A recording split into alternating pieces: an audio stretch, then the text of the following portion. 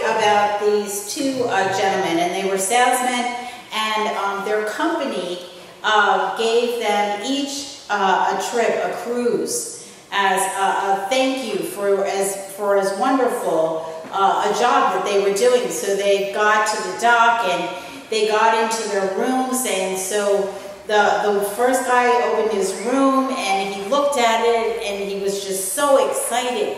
And then the second gentleman went across the hall, he looked at his room and he was really not happy at all.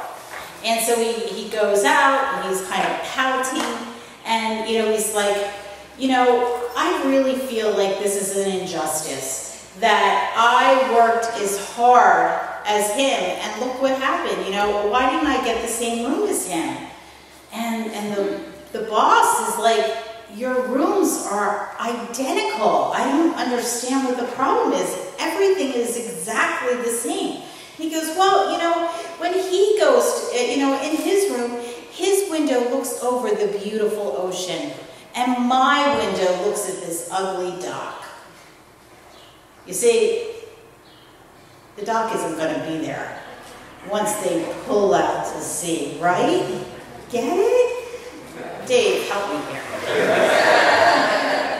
you know, but sometimes when we are comparing ourselves and comparing what we have versus what someone else has, we become very short-sighted. I read this thing last night and I, I kind of love the idea. It said, Count your own blessing rather than the blessing of others. Count your own blessings instead of the blessings of others. Last week I began to speak about the comparison game. And so for those of you who celebrated here on Mother's Day, and, and I understand that Judy did a beautiful job, I'll just catch you up a little bit on what we talked about. And what we talked about was that it is very important not for ourselves to get caught up in the lure of comparing ourselves, but that we are to remember that many of times when we are comparing our lives, we are just comparing a little snapshot. Just like that guy was just comparing that one moment of what the view was. And you know, what happens is you know, when people put things on Facebook or Instagram or Twitter or Vine or whatever it is, you know, it's a little highlight. It's like the highlight reels of the movie. It's not all the meat. It's not everything. You know, when we look at the finished pictures, did you ever uh, look at, you know, someone puts up their, their uh, wedding pictures or, or other pictures, no one talks about the hours that it took of putting um, on the makeup and doing the hair, and then all the hours that the person did Photoshop to fix everything and to make everything look like flawless. We have to realize that life is not a competition, that, you know, we need to um, make sure that our stories are complete. And so our stories are not perfect. But probably what we would say is it's not the perfect moments that make the story, but it's all the blemishes and all the pieces in between, all the insecurities and the struggles and the way that God was companioning you and other people were being beside you that really make our stories important. We need to know that we are all on journeys and that we need to um, learn to become who God truly wants us to be. We need to learn to create, and the journey has to do not with what our neighbor is doing, but the, the dream that God has placed in each of our hearts. So today, what I want us to talk about is you know, what happens when we're in this place and we realize that often in our lives we spend way too much time comparing our lives to other people's lives? And how do we move out of that? Will you pray with me, please? Most precious Lord, I just ask you to give me the words and give me the directions so that we can honor who you created us to be. Amen. So, it is likely that there are times in life that you could be tempted, just tempted. Maybe we don't always go, you know, for it, but that we're tempted to uh, look around and measure ourselves by someone else's standards or someone else's uh, whatever they um, achieved in their life. And you know, it doesn't stop there. Sometimes we're tempted not to just compare ourselves, but then we drag our children and compare our children to their children. Or we drag our spouses and we compare our spouses to their spouses, or our parents, or our siblings, or our house, or even our dog. I understand that there actually can be dog envy. and so how do we, uh, how do we not fall into this pit of the ER world? Andy Stanley, who is a, a, great preacher, he calls it the ER world because what happens is that what we want to, we look at is we look at other people's lives and we want the ER. You see, we want the pretty-er, or we want the tall-er, or maybe even short-er, or we want the rich-er, or the faster, or the smarter, or whatever kind of er you want to put on the end. We want an ER our life. We don't want the life that God has given.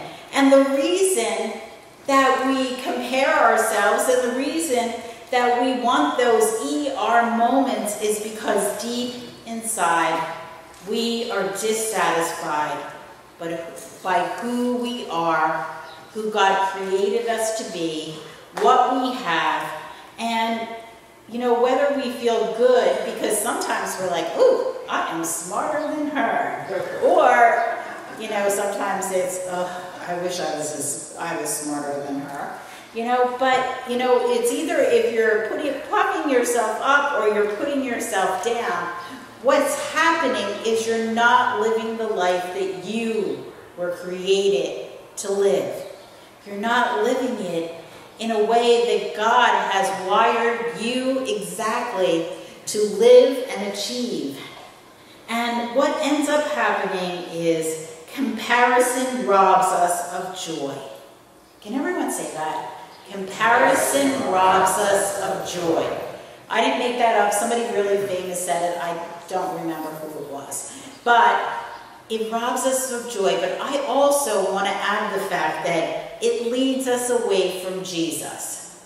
Because what happens is when we are comparing ourselves, we are idolizing someone or something above God.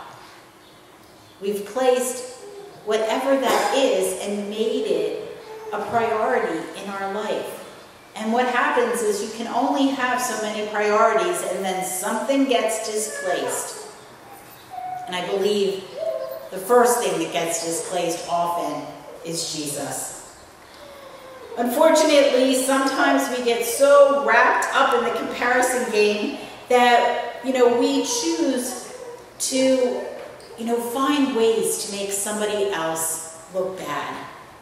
You know, and in that way we believe that somebody, then that makes us look good.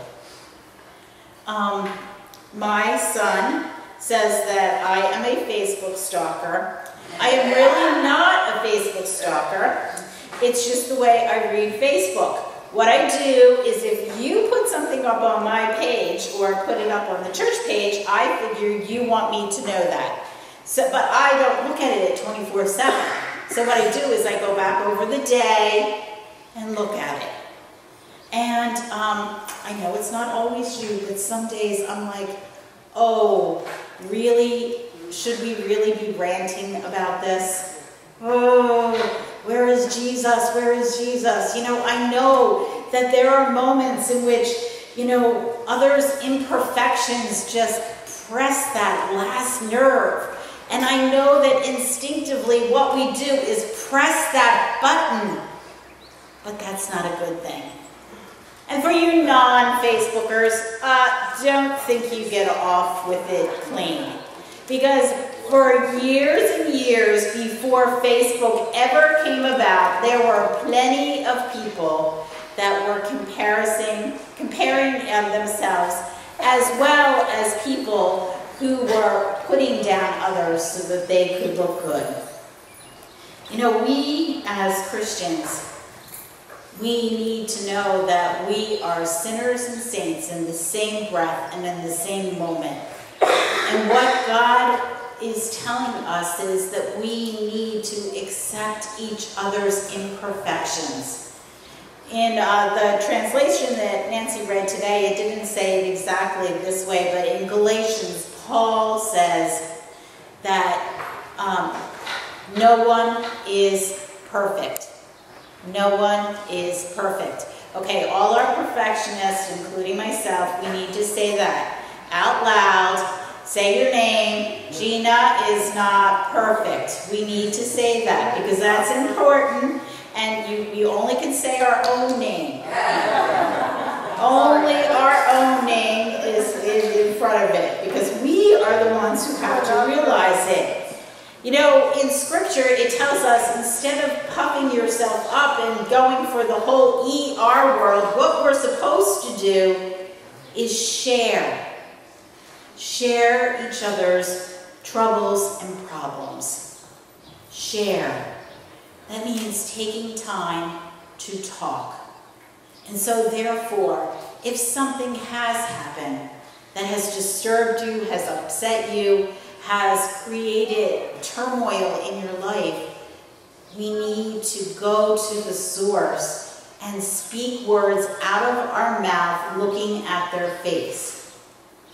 I know that's a really old-fashioned thing, but that's what we need to do. And then we need to take that time and pray and share because I think often it is in the sharing that we realize that the other person has a story and that that one moment that bugged us so much that that was just a little glimpse of their story. And that we get to hear what happened that led up to that. Grace finds the beauty in good. That's in congratulating people on their special accomplishments and not envying their position. When I first started seminary, um, I, um, my first year, uh, I probably took uh, a few more classes than I ended up through the years taking. And so you start, and when you start, you're part of a class, and there's, you know, you, you, they do all these bonding things because they expect that you'll all graduate together in three years. So uh, the, the first graduating class from the black class that I started with, you know, I just felt really yucky. I was like, oh, they're graduating and I'm not. Mm, oh, poor me, and envy, envy, and not, not nice things. I remember that with the first ordination service I sat through. I just, I didn't appreciate it. But then, the second class, and I knew a couple who took maybe four years to go through, so I knew a couple of them. By the fifth year, it was like, oh yeah, bye-bye, see ya. I'll be here in this classroom still, but you have fun in your life. And I loved ordination, and the best part, oh, this is going to be taped, but the best part was that I didn't have to stay through the whole thing. Stephen and I went out to dinner last year in the middle of it. You know? But, you know, it was like, wow, I'm celebrating for you people because I am so happy. And that gave me my joy back because it wasn't stealing away my accomplishments, that they were accomplishing something. And so I think in anything of life, just because someone else has accomplished something, it doesn't take away from what God has and the timing that God has for you. Often we, um, in our grace-filled lives, we are absolutely tested to shine. We are tested because, you know, we, we want to be as shining a star as all the others. And so what happens is that we don't give others the grace-filled love that God desires for them. Helen Keller said, instead of comparing our lot with those who are more fortunate than we are, we should compare it with the lot of the great majority of our fellow humans. And then it appears that we may be among the very privileged. That when we compare what our cars look like, or what our house looks like, or what our education looks like, that we are truly blessed. We need to thank God instead of dismissing it and praying that we had what someone else had. You know, the one thing when we are comparing ourselves that we might sometimes lose sight of is the fact that while we're doing this, there is a whole group of people, a whole group of different people that are looking at us. And so, what do our responses to God's amazing grace look like? Will someone, when they see our Facebook post, when they see us chatting in line, or when they see us in waiting for children at bus stops, or at work, or what, in whatever context that it might be, how do they see God's grace and God's love apparent in us? And how does it come through in a way that they would desire to know us more so they could know Jesus more. There is a, um, a prayer, and I'd like you to, I'll, I'll read it to you, but I'd like you to just, you know, if you, what makes you focus best? So if you close your eyes and focus best, that's, you know, good. If you keep your eyes open, it doesn't matter to me. But I just, I'm reading this prayer and I'm praying this prayer for all of us, including me. O Jesus, meek and humble heart, hear me. From desire of being esteemed, deliver me. From the desire of being loved, from the desire of being extolled, from the desire of being honored, from the desire of being praised, from the desire of being preference to others, from the desire of being consulted or approved, from the fear of being humiliated or despised, from the fear of suffering rebukes, from the fear of being forgotten or ridiculed or wrong, that others may be loved more than I. Jesus, grant me the grace to desire that that others may be esteemed more than I, that in the opinion of the world others may increase, that I may decrease, that others may be chosen and I set aside, that others may be praised and I unnoticed, that others may be preferred to me in everything, and that others may become holier than I, provided that I become as holy as I should. Amen.